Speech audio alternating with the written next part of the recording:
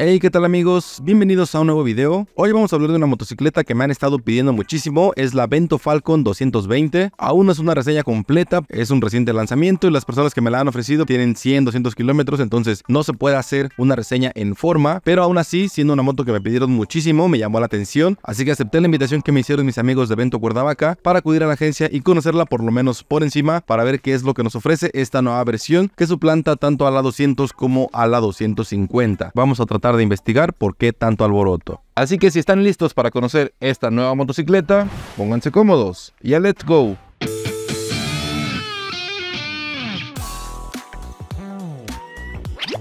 Antes de iniciar amigos, quiero hablarles del nuevo producto de nuestro patrocinador, el Lexin MTX, que me han mandado ya hace un par de semanas. Ya lo tengo aquí instalado, lo hemos estado probando y la verdad es que está increíble. La mejor de sus características es que puedes hablar en conferencia con hasta otros 24 camaradas que tengan este mismo intercom. Simplemente presionas el botón de mesh y quien lo tenga activado puede entrar a la conferencia. La verdad es que es algo muy práctico si todos tienen el mismo intercom. Pero si tú ya tenías un Lexin, por ejemplo, el G2, el G16, también es compatible para hablar de un intercomunicador a otro, ya sea que vayas hablando con tu pareja, o si también estás vinculado con algún camarada, simplemente le puedes hablar. Oye, ¿qué onda? ¿Cómo vas? ¿Nos detenemos? ¿Todo bien? Y siempre tener un intercomunicador es bastante cómodo y además seguro. No solo eso, sino que también puedes conectar tu teléfono para recibir llamadas, poner música. Las bocinas que trae este nuevo Lexin son de bastante buena calidad, suenan muy bien, suenan fuerte, pero no pierden calidad. Puedes compartir también la música con tu copiloto si así lo deseas. Es un aparato resistente al agua, ya me ha tocado lluvias bastante fuertes y la verdad es que en la intercomunicación se pierde y tampoco dejan de funcionar. Entonces, por eso los considero buenos productos, por eso son patrocinadores del canal y por eso se los recomiendo bastante. Si les interesa, aquí en la descripción les voy a estar dejando el link de compra, ya sea que quieran comprar este dual pack o si lo quieren comprar de forma individual, también se puede. Dicho eso, empecemos con las dimensiones. Tenemos una altura al asiento de 80 centímetros, un peso en seco de 125 kilogramos y ya con líquidos unos 135. Básicamente los mismos números que veíamos en la versión 250, así que nada que sorprendernos. Hay que decir que es una moto ideal para iniciar a manejar, para esas personas que quieren andar por la ciudad, que quieren trabajarla o simplemente se quieran andar moviendo por ahí. En cuanto a dimensiones no vas a tener ningún problema a menos que seas de plano muy muy bajito o muy muy alto. En cuanto al diseño tenemos una renovación más o menos, es un pequeño lavado de cara. Por ejemplo notamos que cambiaron los espejos, terrible error a mi parecer. Los espejos del anterior si bien no eran los mejores, eran más sólidos y estáticos. Aquí les pusieron los de las crossbacks, los que siempre digo chale. Estos espejos de 3 por peso son los más horribles. Apenas enciendes la moto y vibran muchísimo, yo no sé por qué lo siguen incorporando, incluso en sus nuevos modelos. Si se la van a comprar, consideren cambiarlos por otros porque estos de plano no están chidos. El manillar pasó de ser tubular a tener clips, un aspecto que le quieren dar un poco más deportivo, que no siempre es tan cómodo, por ejemplo, para poner soporte, aunque en este caso ya lo tenemos, tampoco es de la mejor calidad, aunque sí lo han mejorado. Cambiar del modelo y a mí este me gusta más, se siente un plástico un poquito más poroso, más frágil, pero la ruedita me gusta un poquito más, siento que es mucho más fácil abrirlo y cerrarlo, por lo menos ese detalle está chido, que ya lo traiga y no te tienes que preocupar por eso. En cualquier caso, a mí me gustaba más que fuera tubular, porque para mí es más versátil. Otro detalle que cambió es que ahora tenemos el asiento dividido, la 250 y la 200 serían un asiento totalmente corrido y en este caso ya tenemos un asiento separado, también buscando un look un poco más deportivo. No es que el anterior fuera extremadamente bueno ni que esto suponga una mejora, pero sí se ve más bonita. Seguimos contando con agarraderas para el copiloto en el colín, algo que está muy chido. Las salpicaderas siguen siendo las mismas, son algo pequeñas, tanto la delantera se me hace algo corta, pero estética, y la de atrás me sigue pareciendo algo cortita. Yo creo que definitivamente cuando pases por un charco o manejes en lluvia, te vas a llegar a mojar. Han quitado la quilla que tenía en la parte inferior. Ahora los plásticos vienen desde los laterales del tanque y llegan hasta la parte inferior. Es un look que también vimos en las Nitrox, por ejemplo, que sí se ve un poquito más robusta la moto, como que más grande, pero en mi opinión se veía un poquito mejor antes. Ustedes díganme qué les parece este detalle. Lo que sí es funcional es que todavía tenemos posapiés engomados para ambos pasajeros y seguimos contando con el caballete central que nos va a servir mucho cuando queremos lavar la moto, estacionarla o engrasar la cadena. Algo que está chido es que ahora viene con las defensas incluidas ya de línea. Los modelos anteriores no las traían y este incluso traía hasta las auxiliares. Es algo que prácticamente Vento le ha metido a todas sus motos y está chido que no se olviden de esta. Aunque ya saben que no son las mejores defensas, se llegan a doblar si te caes, las luces auxiliares se llegan a fundir incluso antes de los 30 días o al día 31 o 32 cuando ya no tienes garantía. Entonces, bueno, no es de la mejor calidad, pero los incluye. Lo que pueden hacer es aprovechar las bases para poner otras luces auxiliares de mejor calidad. En el motor también tenemos algunos cambios. Primero les digo la ficha y ahorita se los menciono. Tenemos un OHV 220 centímetros cúbicos en un cilindro con una potencia máxima de 16.5 caballos de fuerza. Es una moto carburada, tiene 5 cambios y su enfriamiento es únicamente por aire. Como pueden ver, es un motor bastante sencillito, no le vamos a pedir que tampoco tenga sexta velocidad, que sea enfriada por aceite, ni mucho menos. Es un motor que para lo que cuesta está bien, pero hago algunos comentarios. Por ejemplo, la 200 tenía 14 caballos de fuerza, era un motor varillero, así que si lo ves desde ese punto de vista, pues bueno, subió a 220, sigue siendo varillero y tiene un poquito más de potencia. Pero si lo ves desde la 250, ese motor era por cadena y tenía 18 caballos, así que se redujo y pues prácticamente quedó entre las dos. No es que sea un mal motor, incluso la Falcon 200 fue de las motos que más nos ha gustado traer. Este 220 no lo he manejado, he manejado motores varilleros 300 de Vento 250, así que le vamos a dar el beneficio de la duda para ver qué tal se comporta en mi opinión. Lo único que no me encanta es que para las personas que les gustaba el diseño de la Falcon y que además era 250, pues bueno, ahora sigues teniendo un diseño más o menos similar, pero en 220, así que si el requisito era 250, pues ya no lo tenemos. Hablando de la suspensión, tenemos una horquilla telescópica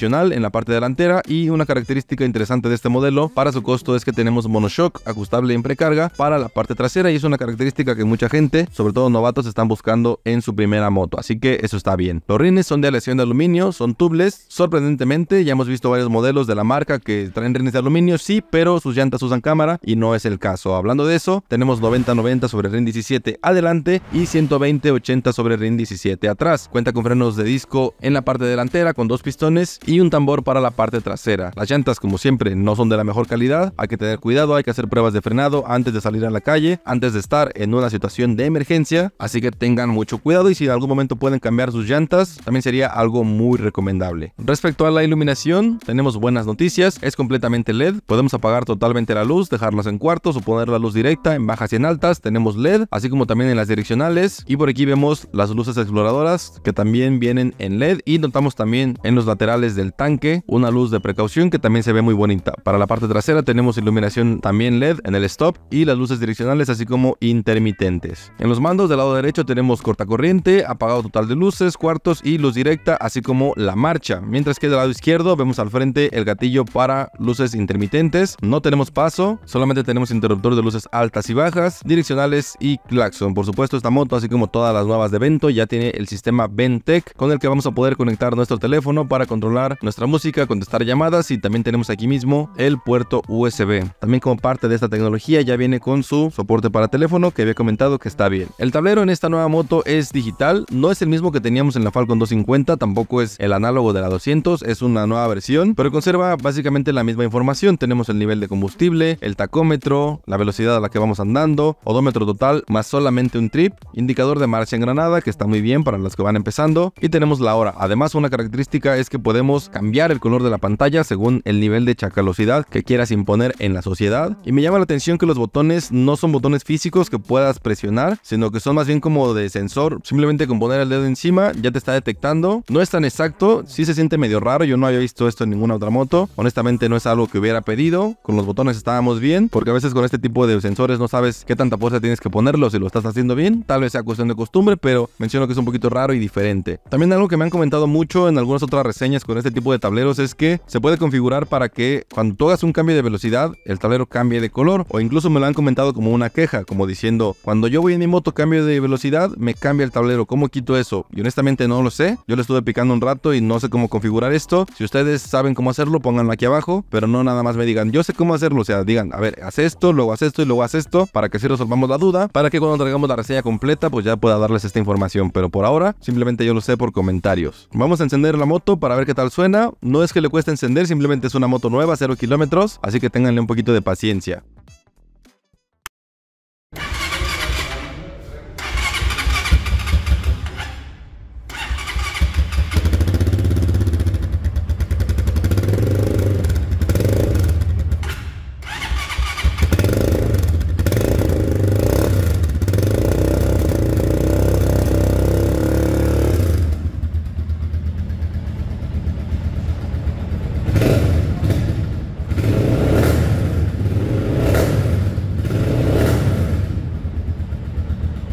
El sonido es básicamente el mismo que en la 250, de hecho tenemos el mismo silenciador.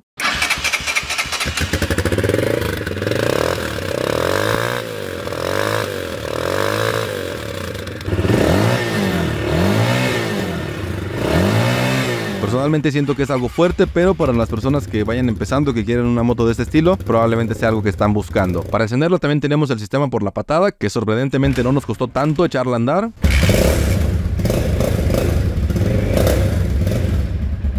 Así que punto para esta Falcon. También tenemos el mando a distancia para poder ponerle la alarma, para hacer que suene, para encender la moto incluso si está neutral y con el cortacorriente activado. Y también funciona bien, o sea, simplemente le presionas, le presionas una vez para que encienda la luz y le vuelves a presionar, pero mantienes apretado y ya la moto va a encender. Eso estuvo muy chido y no había visto que una moto respondiera tan rápido. Esperemos que así como funciona de nueva, funcione siempre y no solamente esos 30 días que te dan de garantía en el sistema eléctrico. Con la llave podemos encender la moto, la apagamos, bloqueamos el manillar aquí mismo, no tenemos ranuras raras por otros lados y tenemos acceso al tanque de la gasolina que en este caso trae su bisagra de una forma muy cómoda con una capacidad de 14 litros. La página promete un rendimiento de 35, yo lo dudo, yo creo que con 28, 30 estaremos bastante bien servidos. También va a depender de cómo tú manejes la moto y en dónde o con quién. Por aquí debajo del tanque intenté buscar la llave de la gasolina, no creo que la tenga y si la trae está muy escondida, así que vendría dándonos lo mismo. Lo que sí vemos es el ahogador en caso de que no te quiera encender, simplemente lo activas, enciendes la moto un par de segundos y ya luego le bajas el ahogador, la aceleras tantito y vámonos. Y ahora sí hablemos del precio. Según la página de evento actualmente están 42 mil, pero tiene un descuento a 36 mil pesos, lo cual está bastante bien, queda muy equilibrado con las versiones anteriores. Creo que la 200 andaba por ahí de los 35 y la 250 por ahí 37, 38, así que quedó bastante bien, no está cara. Sigue manteniendo las características de la marca y además cosas nuevas, como el sistema Ventec, soporte para teléfono, alarma, encendido a distancia y bueno, lo que ya vimos. Pero como siempre, solamente las lanzan en un color, en este caso es blanco. A mi parecer, la roja, la 250 está muy bonita. Me hubiera gustado que sacaran algo así, pero quisieron apostar por el blanco y creo que a mucha gente le ha gustado. Así que creo que le salió bien la jugada, aunque ustedes díganme qué les parece el único color al que se lanzó esta moto. Respecto a su garantía, como siempre, 36 meses o 33 mil kilómetros. Toda esta información la puedes encontrar directamente en la página. Eso es un punto para evento que toda la info la tienen ahí directamente. Y si no la ves es porque no quieres. Simplemente le das en opciones de servicio, garantía, mantenimientos y ahí está toda la información. Desde el periodo para hacer los servicios, así como el De cualquier forma, en la descripción les estoy dejando la página actualizada para que le echen una leída. Lo que siempre hay que mencionar es que los mantenimientos no son uno de sus puntos más fuertes. La verdad es que dejan mucho que desear. Yo entiendo que cuando vas a la agencia, la gente es súper amable, súper cálida, porque obviamente te quieren vender. Ah, sí, pásale, te atienden, te llaman. Son dos camaradas y todo muy buena onda, entonces tú les compras chido. Pero luego, ¿sabes qué? Lleva al servicio con tal persona que ni siquiera sé quién es, que seguramente no me atienda bien ni que quiera ahorrarse unos pesos. Entonces, son casos ya muy sonados. Realmente este tipo como de, que tengas una garantía, la tienes, pero no te garantizan como tal que vayan a ser buenos talleres. Yo siempre les pido que por favor aquí en la descripción me dejen sus referencias, a dónde llevan sus motos, recomienden buenos talleres. De igual manera, si han tenido malas experiencias, coméntenlo. ¿Sabes qué? Fui a este taller, no lo recomiendo, me hicieron esto, esto y esto, así que de preferencia, si pueden, no vayan. De esa manera tenemos información mucho más útil. Y bueno, en conclusión, quiero decir que honestamente no entiendo el alboroto. Sí me llegaron bastantes mensajes sobre esta moto. Oye, la Falcon 220, reséñala, o por lo menos ve a conocerla a la agencia y todo eso. Me llamaba mucho la atención, tal vez mi expectativa era bastante más alta o no sé qué es lo que hayan visto en esta moto que quisieran conocer como de nuevo. Es un evento bastante normalita, trae todas las funciones que la marca nos ha demostrado en sus últimos modelos. No veo algo destacable, si acaso el precio y que no parece una moto de repartidor. Eso está muy chido. Si estás buscando algo así, definitivamente es una moto que puede llenar tus expectativas. Lo que sí tengo que comentar, que me parece una mala estrategia, es que se quedaran sin el modelo Falcon 250. Cuando yo conocí esa moto, la Falcon 250 era una buena opción porque era 250, que es algo que mucha gente está buscando. Era una moto barata y traía monoshock, lo cual no es muy común de ver por el precio. Ahora es casi lo mismo, cuesta casi lo mismo, pero no es 250. Así que si ocupabas justamente esa cilindrada, pues bueno, ya ni modo. Por ahí se dice que va a haber una Falcon 300, pero si van a hacer lo mismo que han estado haciendo con la Nitrox, con la Thunder, con la Screamer, que ahora son motores varilleros, pues tampoco sería una muy buena noticia. Pero esperemos a ver si eso es así en un futuro, pero hoy por hoy solamente está la 220. Y bueno amigos, eso es todo por esta ocasión. Espero que les haya gustado y sobre todo que les haya servido. Muchas gracias a Vento Cuernavaca por siempre invitarnos a conocer sus nuevos modelos de primera mano. Si ustedes tienen esta moto, si ya se la compraron, si ya sentaron el motor y quieren salir en este canal compartiendo su experiencia, por favor manden un mensaje, dejen un comentario o de preferencia por Instagram para más directo. Lo agendamos y les hacemos una cita para que vengan y ustedes digan cómo les ha salido ya en el uso real. Sin más que decir por el momento, me despido. Yo soy Alex y como siempre nos vemos por estos rumbos en un próximo video.